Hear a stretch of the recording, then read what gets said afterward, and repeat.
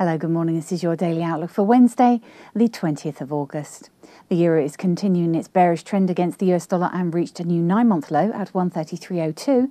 The single currency continues to be under pressure as the European PMI will be announced tomorrow and the FOMC meeting minutes are released this evening. The US dollar rose against the Japanese yen to 103.16. The greenback climbed to a four month high as the US building permits and housing starts were better than expected at 1.05 million and 1.09 million, while the expected building permits and housing starts were at 1 million and 0.97 million. The US economy shows signs of recovery, while later investors look ahead to the FOMC meeting minutes about the projections of the US economy, with speculations of raising the interest rates. Looking at equities, the US equities rose yesterday as the US economy recovers faster.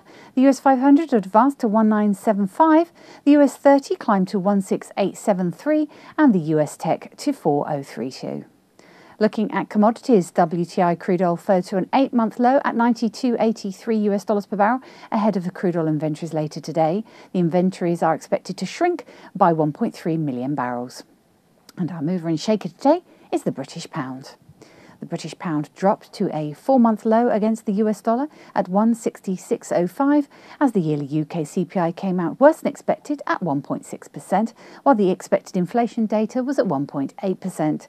Today, the Monetary Policy Committee of the Bank of England will vote for the interest rate and for the asset purchase facility, with possibilities of increasing interest rates. Option traders may consider constructing a back spread strategy with puts on sterling dollar and gain if the pair moves lower, while the risk is limited to the premium paid. A back spread strategy with puts can be constructed by selling an at the money put while buying an out of the money put at double the amount. And watch out at 8:30 GMT in the UK. We have the MPC official bank rate votes expected at 009. At 14.30 GMT, we have the crude oil inventories forecast to drop by 1.3 million barrels, and at 1800 GMT in the US, we have the FOMC meeting minutes. Thank you for tuning in to our daily outlook. We look forward to seeing you again tomorrow. I'm Amanda Joe from Easy Forex Dealing Room. Have a great day.